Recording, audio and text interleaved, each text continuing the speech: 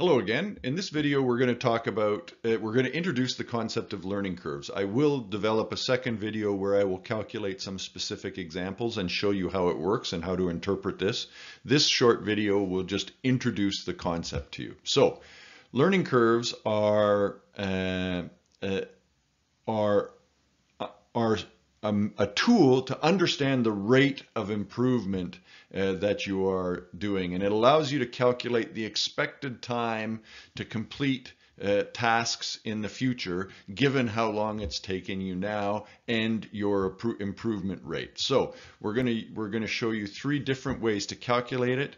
Uh, we'll do that introduction fairly quickly and then do a separate video with some specific examples. And we'll finish with a little bit of a discussion of the strategic implications of learning curves.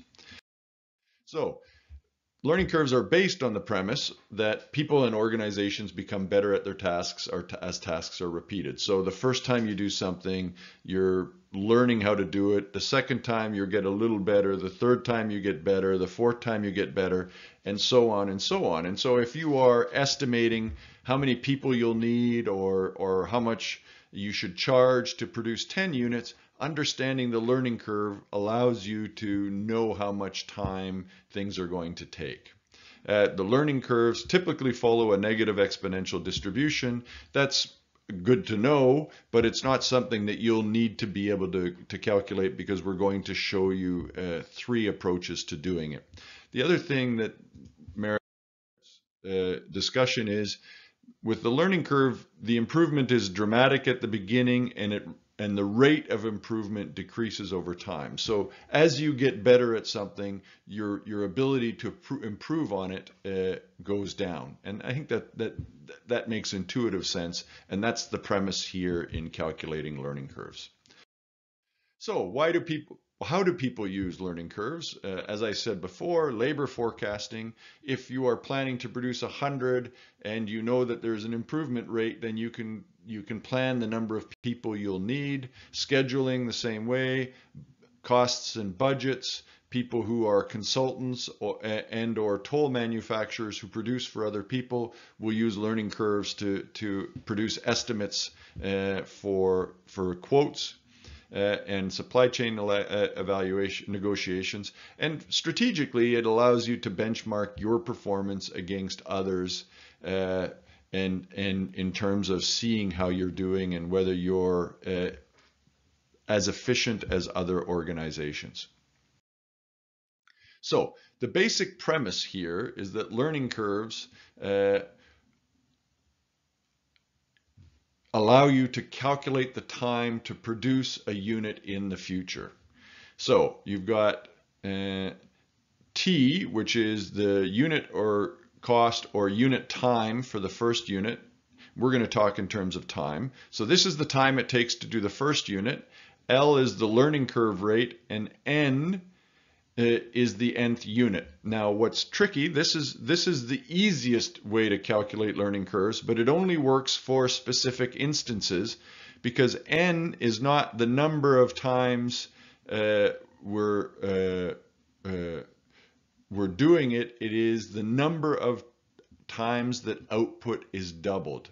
So it works for 1, 2, 4, 8, 16, and so on. So if you need to do the 10th unit, you'll have to use one of the other approaches, but this nice, simple approach works for those doubled. So here, if the first unit takes 10 hours, 70% is our learning curve, the fourth unit will require doubling twice. So if I say, how long will it take us to, to produce the fourth unit, we know that then one, two, four, that's doubled twice.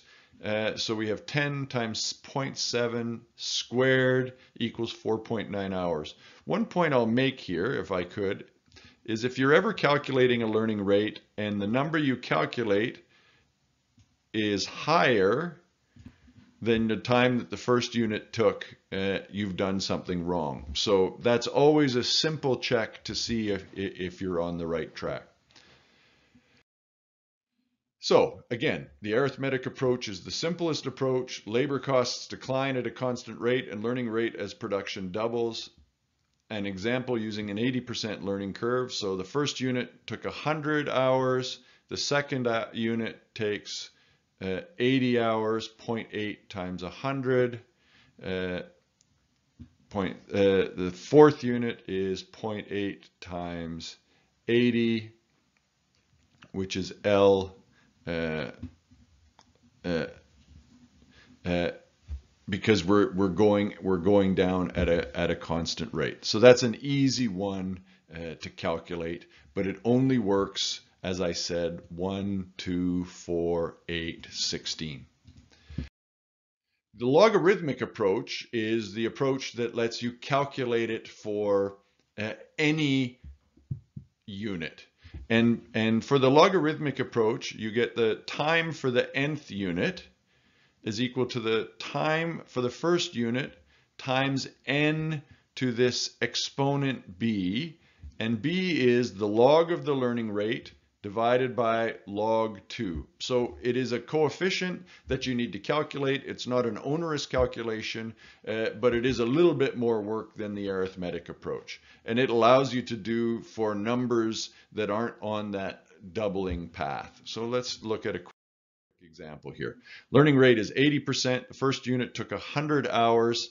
The third unit, so we know we can't use the doubling uh, factor, so we can't use the arithmetic approach is equal to 100, the learning rate, uh, the, uh, the time for the first unit times 3, which is the third unit, to b, and b is the log of the learning rate divided by the log of 2, which gives us negative 0.322. Uh, and so it's often worth calculating that uh, and keeping it as a separate number because you might need to use it several times. Uh, a, a, couple of hints, and I'll go through this in the video when we're doing the calculation, is uh, when you're entering it in your calculator, put this in brackets so that you don't get in trouble with the order of operations. Uh, and I would also always uh, calculate it previously, but again, I'll go into that in more detail in the video where we show some examples. So in this case, 70.2 is the time that we expect the third unit to take. Still relatively straightforward, but a little bit more complex than, uh, than the arithmetic approach, but applicable to a wider range uh, of, of problems. The, the, the, the third approach we have is like the logarithmic approach, but what happens in that one is that somebody calculates uh, n to the b for you. And so you've got the time for the nth unit is equal to the time for the first unit times a coefficient that you pull from a table that you have in your textbook. Uh, and so in that one, the only drawback is that it, you have to have a very precise learning rate uh, and uh, to be able to use the table. So this one is like uh, more flexible than the arithmetic approach because you can do any number, but you have to have a learning rate that is in your table. So the table looks like this. So for a, for a learning rate of, uh, of 70%, 1, 2, 3, 4, 5, and then 10, 15, you find different tables. This is the coefficient for the unit time, which means that for the fourth unit, you multiply T1 times 0.49, uh, and for the 10th unit, you multiply it by 0.306.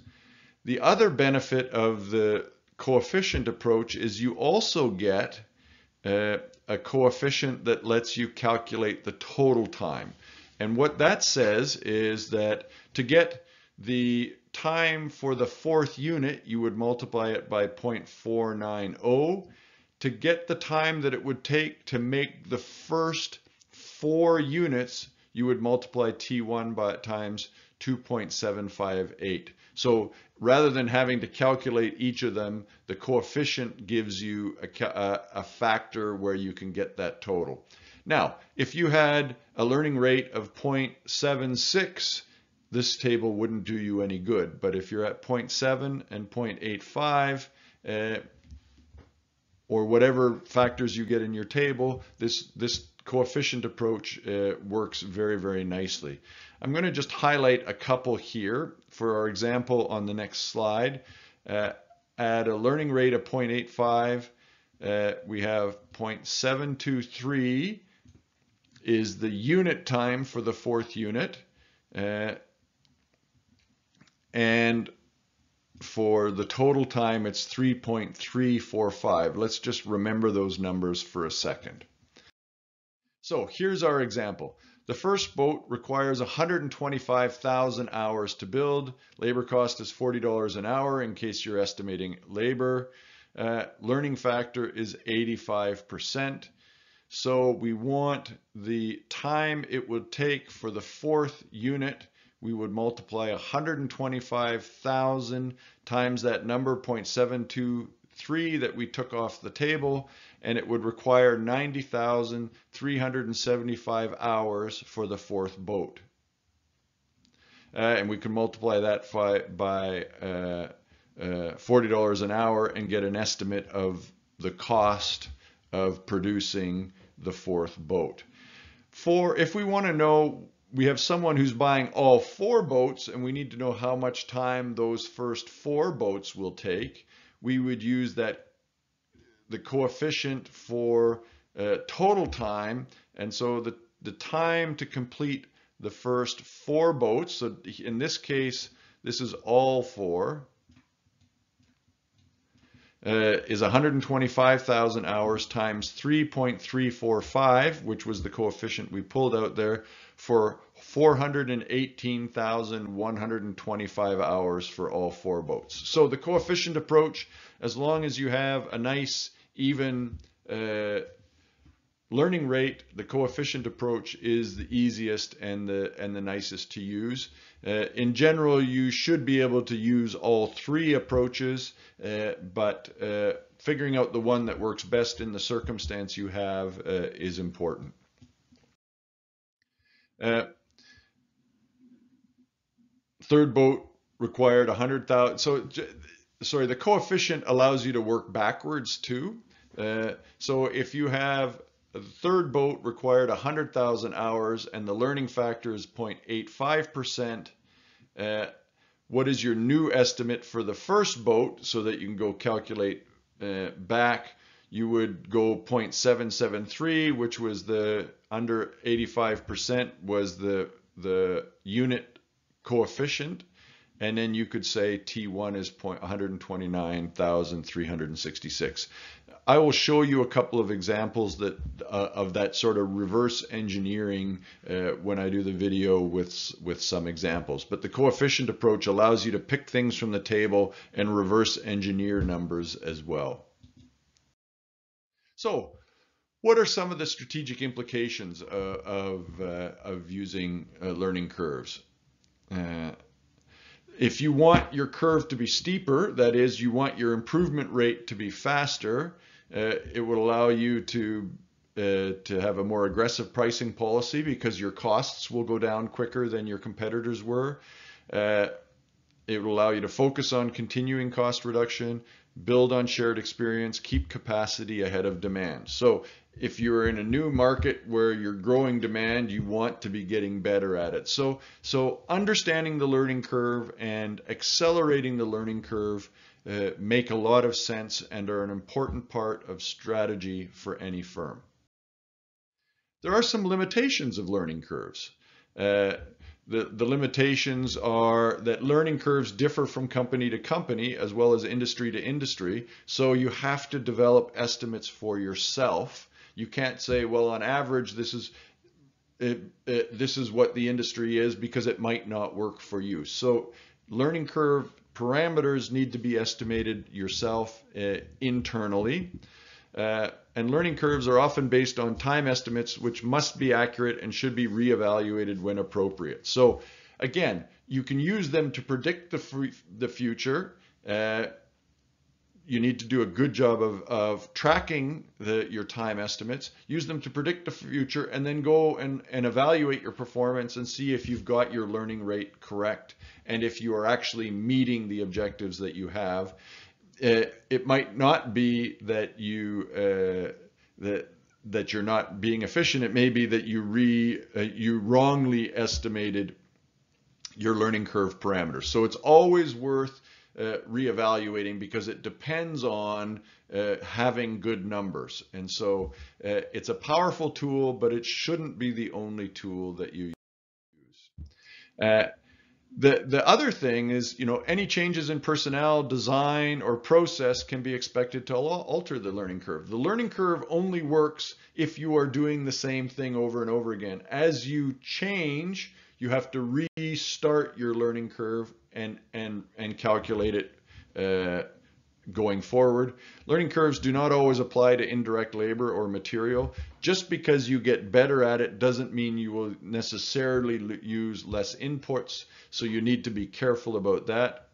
Uh, and the culture of the workplace, resource availability, and changes in the process. So if anything else changes, uh, it'll throw your learning curve off. So again, as I've said over and over and over again, these tools can provide you a number, but they can't make a decision for you. You have to look at the qualitative factors outside of your numerical factors and say, are is everything the same? What else might change? How should I adjust these estimates going forward? That said, given this simple approach, uh, it can provide you some real insight into budgeting, scheduling, labor estimation if you have some simple estimates of learning curve. That's all I wanted to really introduce here in, in, in this video. Uh, I will do a separate video where I work through some examples to show you uh, how to calculate and interpret uh, results based on various questions. Thanks for your time.